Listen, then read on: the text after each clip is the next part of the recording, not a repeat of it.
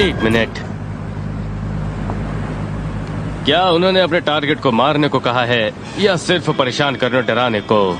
अगर तुम्हें डराने को कहा गया है तो उनसे कहो मैं डर गया। तुम्हें डराने को नहीं कहा मैं खत्म करने को कहा है। सिर्फ़ तुम्हें नहीं।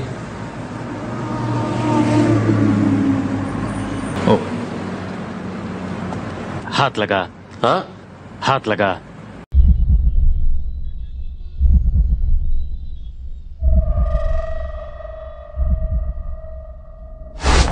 Oh,